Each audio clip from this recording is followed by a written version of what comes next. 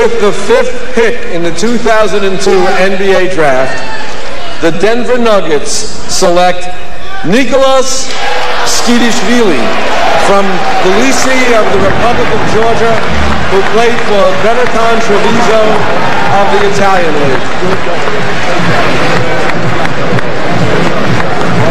He is uh, 19 years old, a seven-footer. Played uh, Treviso in Italy for Mike D'Antoni, former Denver Nuggets coach. Well, they used him as a substitute. He played about 13, 15 minutes a game. The main thing is he's seven foot. He can change ends as quick as any guy in the strip. He has a big upside. He's an excellent shooter facing the basket.